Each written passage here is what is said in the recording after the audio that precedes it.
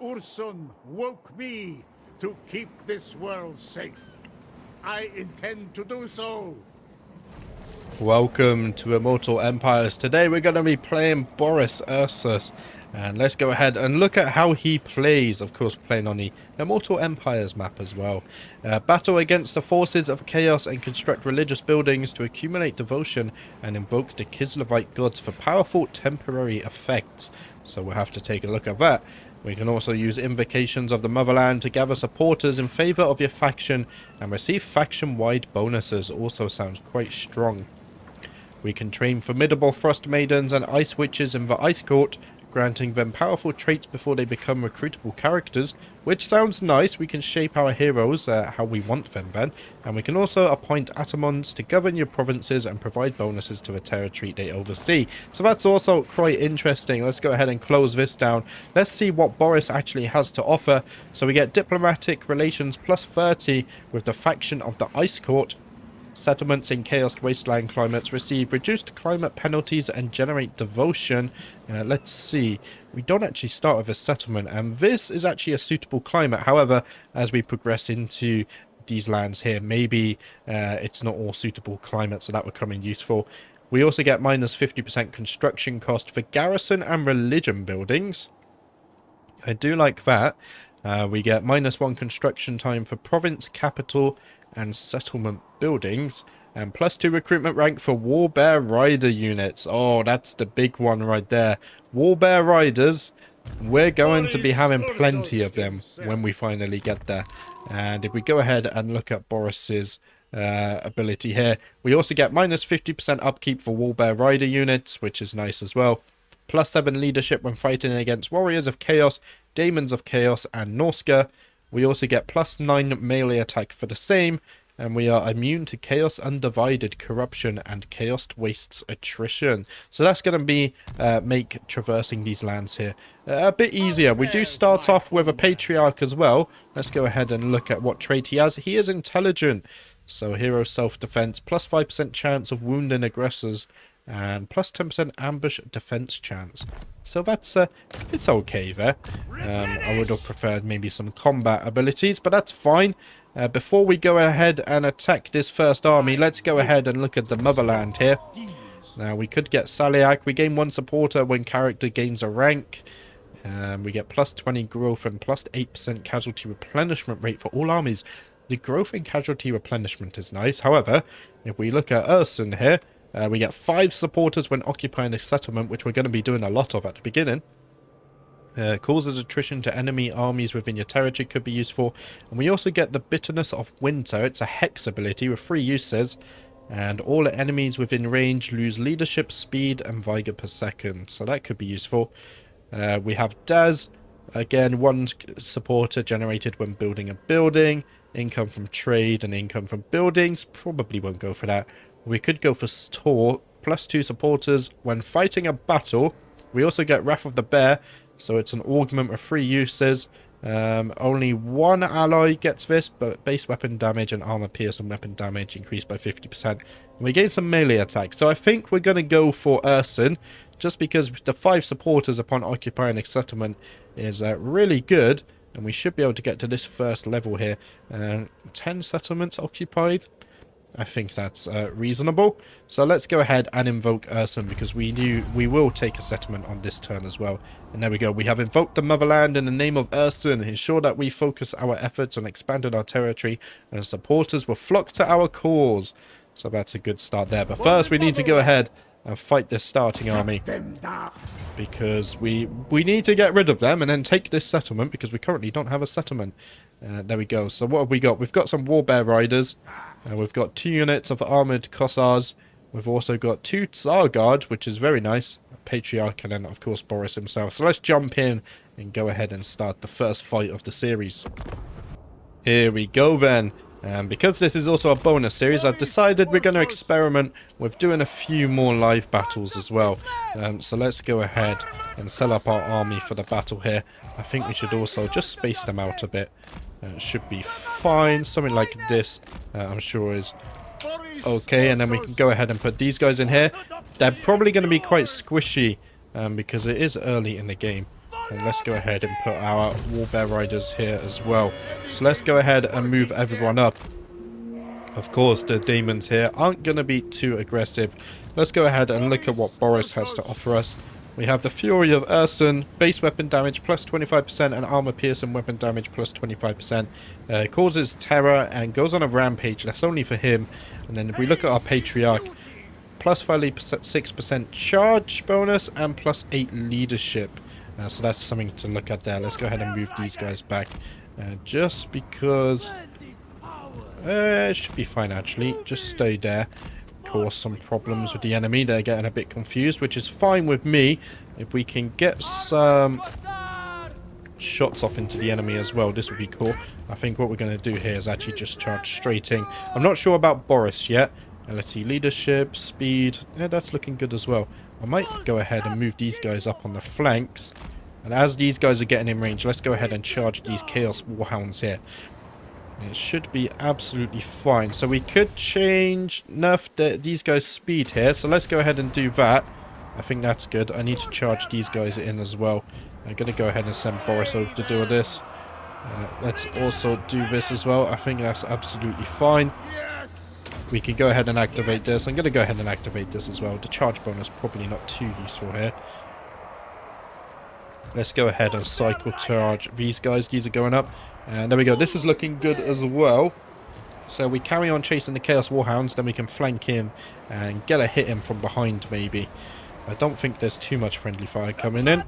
Let's charge these guys back down. Uh, if you guys can line up here, we could get a nice charge into the back of the enemy for sure. We might even be able to get a nice close-up of that happening. In fact, let's go ahead and get a cinematic shot here. There you go. You can see our Warbear Riders charging down the hill. They're going to send the demons flying, I imagine. There we go, absolute carnage. Um, the Chaos Warhounds are also coming back. So we're going to need to tell these guys to turn around and fight them as well. It should be fine though. Uh, this is all looking good. The demons here are actually getting quite weak. Oh jeez, uh, this guard is looking fairly damaged. Let's try and deal with this. Of course, we don't want to lose our units. Maybe we can get off get off some shots here. I might just chase the Chaos Warhounds off into the distance. Luckily, this Tzar Guard is still okay. Took a fair bit of damage there, though. Let's try and move everyone off into here. Fad, let's put you back here. Uh, you have flaming attacks. No, you're on fire. Okay, that does not mean flaming attacks. I'm also going to get you guys out of here as well. If you guys just wait here.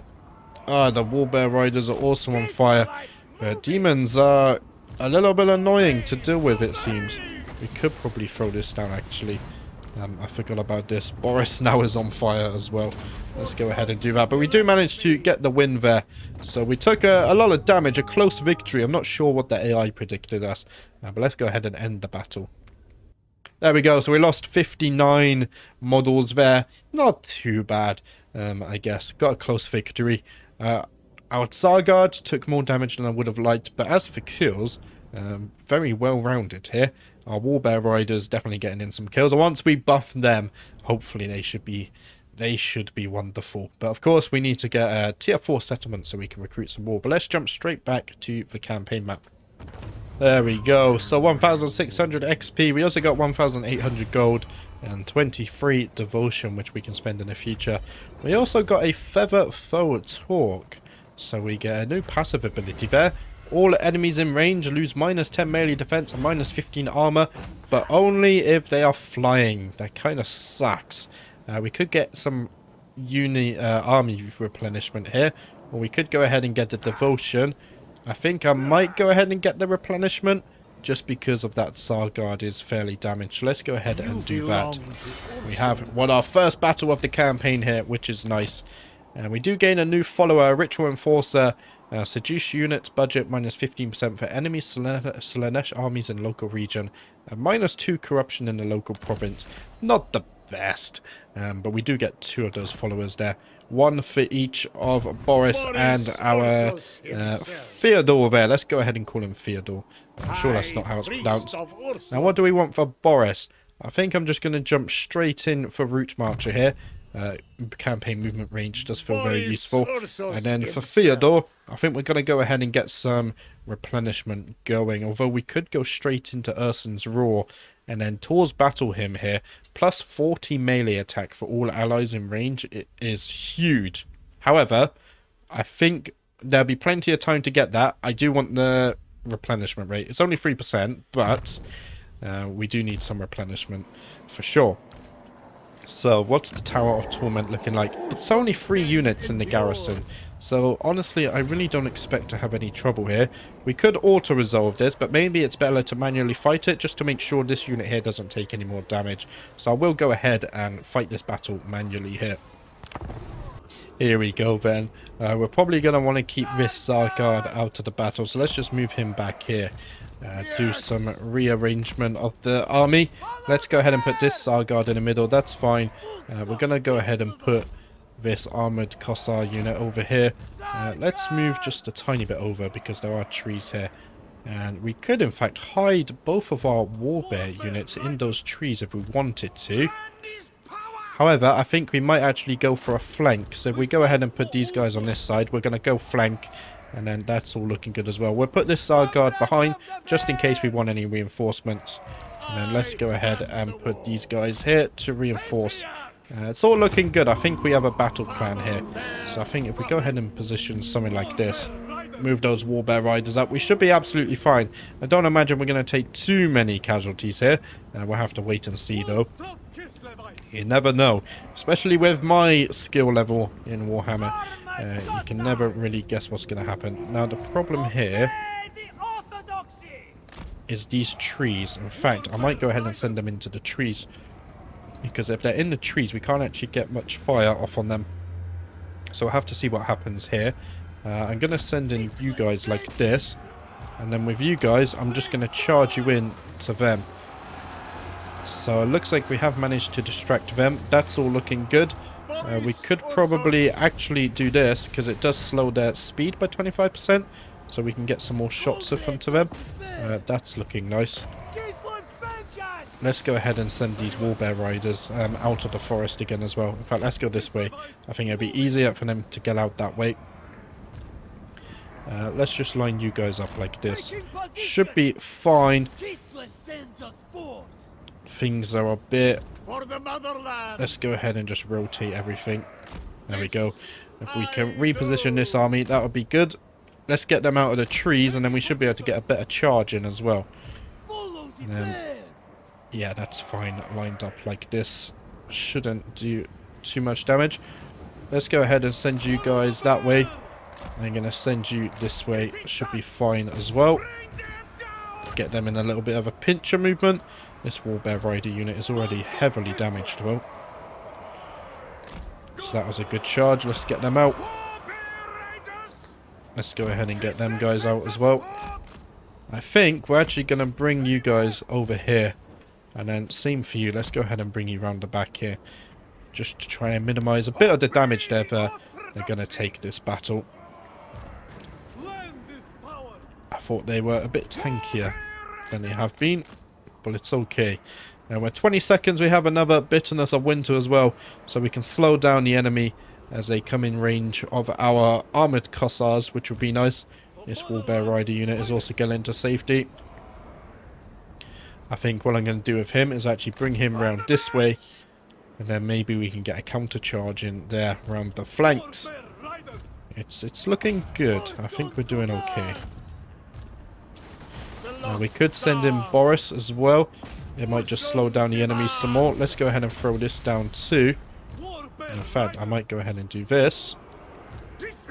Let's do something like this.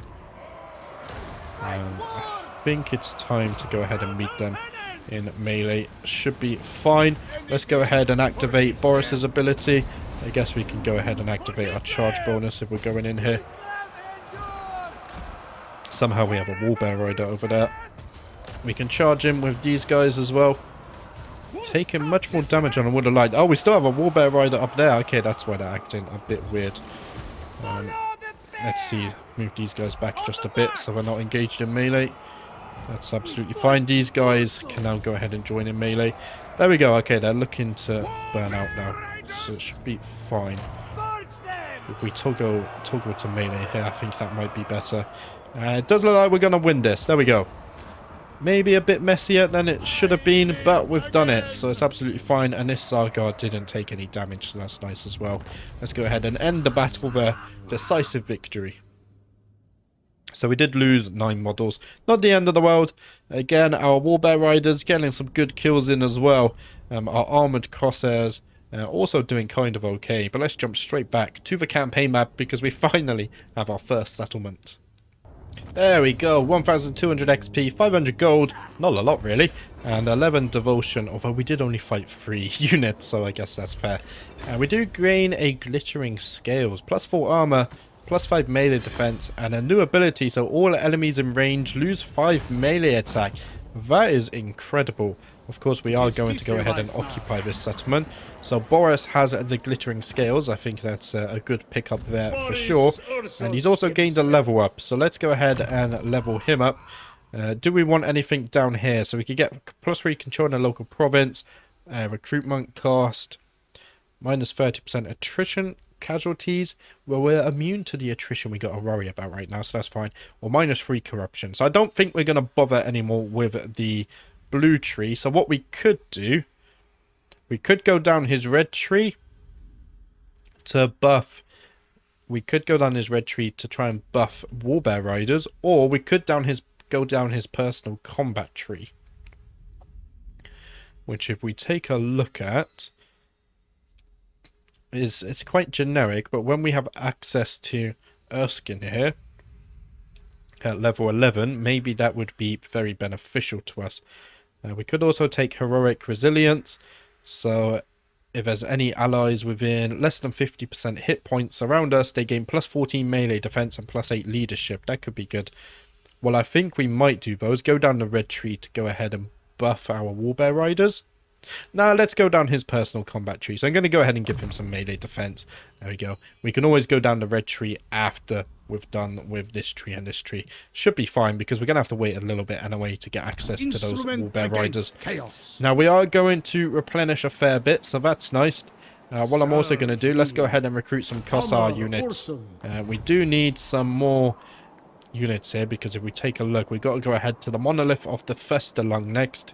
And then we've got to make a decision. Do we go straight for the capital or do we go for the burning monolith? I think we go for the capital just so we can start upgrading it ASAP. Now we can build here. We should either build a farm for plus 10 growth or I can build a roadhouse for plus 20 growth. I think I'm going to go for the Roadhouse, just because we need to get a tier 4 settlement ASAP for those Warbear Riders. So let's go ahead and build that for the growth. Should be absolutely fine. Uh, we can also get some research here, so we could, again... Usually, I think people always go for Ice Sculpting first, so you can get access to your Frost Maiden as soon as possible. But that plus 10 growth would also be useful. However, I think here, let's go ahead and get Ice Sculpting. And then we can unlock our first Frost Maiden, uh, which will be fun to check out that mechanic. I think that's everything else here. Yeah, we need to unlock this slot so we can get a Frost Maiden. Let's go ahead and check our diplomacy. I don't think we have anyone in range. Uh, you do have Kraka Drak here. They don't really like us, though.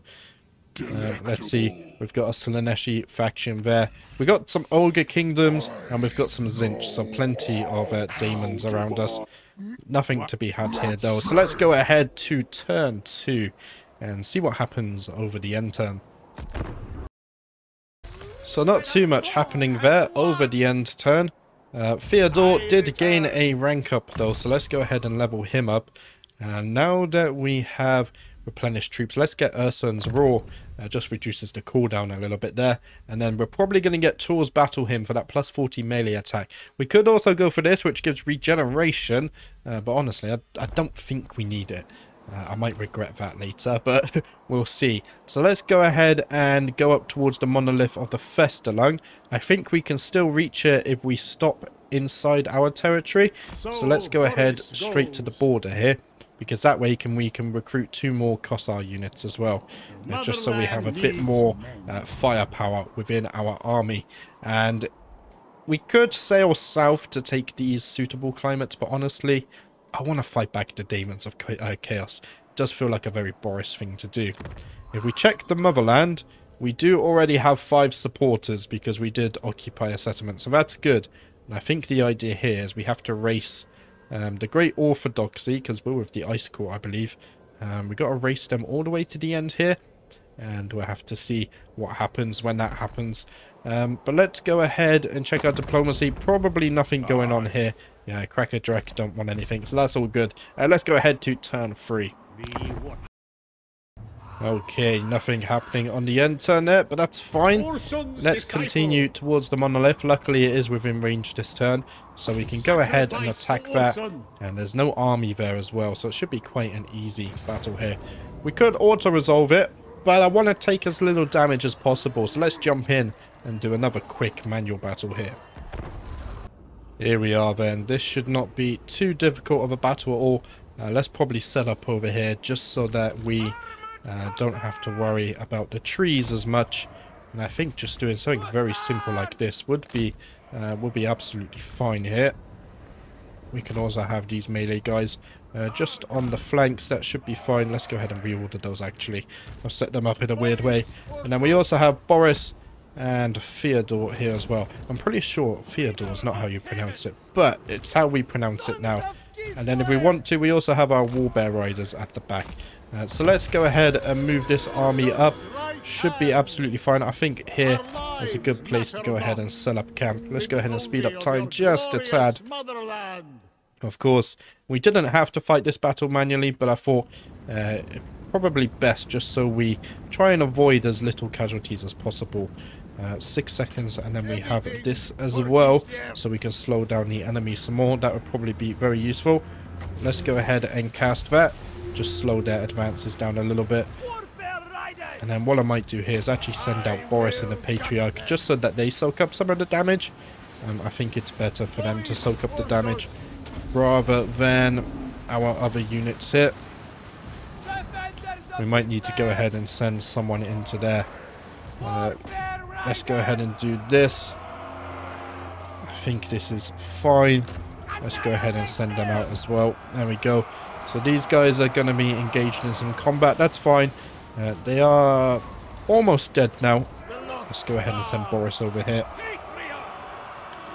Uh, the Patriarch's taking a bit of damage, so I'm going to move him out over here. Let's also go ahead and take these guys and put them on the flank. They can shoot into the back of the enemy then. That should be good. In fact, I think they can get a shot off from here. So let's go ahead and turn them around. Should be fine. A very quick and easy battle here. Let's go ahead and go for a close-up just for the final killing blows. It's beautiful stuff. Just look at the Warbear Riders covered in blood. And there we go. There's the victory. Uh, our Kossar units, our armored Kossars also getting off their gunpowder shots. Gunpowder and bears. What more could you want from a faction? Uh, beautiful stuff as we chase them down there. But let's go ahead and end the battle. Of course, another decisive victory for us. So we did lose three models. That's fine. Um, Theodore took most of the damage there, but it wasn't too much damage. He'll be able to replenish that on the end turn. And even though the Warbear Riders joined the battle late, they got plenty of kills still. So already, without too many upgrades, they're very strong. But let's jump straight back to the campaign map. There we go. So 1,200 XP, 500 gold, and 11 devotion. We also got an Ogre Blade, plus 18% weapon strength. That is going to be really useful early on. Let's go ahead and occupy this settlement. And Boris does get that new weapon, so that's absolutely fine. Uh, it's probably the guy I would want it to go to. Let's go ahead and level up Boris as well. Uh, let's see, we do have brass lunged. Uh, I don't think we really want that. So what do we want here? We can give him charge bonus, some armor, some hit points, or some melee attack. Now, he does have 89 armor. I think the hit points might be good here. Another 300 hit points could be useful. Also, armor is, core, is of course useful as well. Uh, how resistant a unit is to missile fire and melee attacks. Whereas hit points would just give us flat health. I think we're actually going to go for the armor. Let's go ahead and boost his armor. And then we can get the hit points after as well. Just for that extra defense really doubling down. So let's go ahead and recruit some more Kossars. We could go ahead and get Kossovite Dervishes. Um, but let's go ahead and get Kossars. Because I'm about to dismantle this building just because we're going to build another roadhouse. because the thing we want is Warbear Riders, and that means getting in as much growth as possible so we can upgrade the Howling Citadel to Tier 4 ASAP. So that's our main focus here. Now there's nothing else happening here. We should have gained 5 more supporters as well, which we can check here. Uh, we actually have 11 supporters. Here it says 10. So I'm not sure where the 11 came from, uh, but we do now have 10 supporters, so that's looking good too. Uh, just another 40 and then we can support the Ice Court, which would be nice. Do we have any diplomacy we can do? Uh, is actually... I don't think it's really changing. But yeah, Kraka Drak isn't that fond of us. It's fine. Let's go ahead to turn 4. There we go, nothing really happening on the end turn timer again. It's quite a um, quite a peaceful, passful, uh, passive opening here. Uh, I imagine there has to be an army up here. Uh, military presence, there we go. What about over here? Military presence. So they do have two armies. So let's go ahead. I think we go straight for the capital now. So let's go ahead and march Boris up towards the Howling Citadel. Citadel, because we are going to want to take that next turn. If we go ahead and look there, it's only an army of three, so that's going to be relatively easy to capture. So let's go ahead and recruit two more Kossar units. Uh, slowly building up our army here. And then the, in the Monolith of the Festalung, we can go ahead and build that roadhouse. Although, what do we have here? We could also build some brine mining pans. We would get some income. Minus 7% for some reason. Uh, we get some salt resource for trade and income from markets. We're not got anyone to trade with right now, so I think we might just stick with the roadhouse. Um, it's fine, we can build that resource later on. I think this is going to be a very another quick turn. Yeah, Kraka Drak doesn't want anything to do with us still. So let's go ahead to turn 5. And uh, next turn, hopefully, we should be in range of the Howling Citadel. There we go, and we got our first technology as well. So we can finally recruit our first Frost Maiden. Uh, so we're going to take a look at that in the next episode for sure. But other than that, um, we have gained a rank, a rank actually for Theodore as well. But sadly, that's all I have time for today. We did gain our first two settlements. In the next episode, we're going to hopefully capture this entire province. And then we can either choose to deal with the Slaanesh here, or we can deal with Tzeentch. So either way, it looks like uh, we've got battles to fight on both ends, so that could be quite fun and chaotic. But thank you for watching. I will be back tomorrow with another one, and I will see you next time.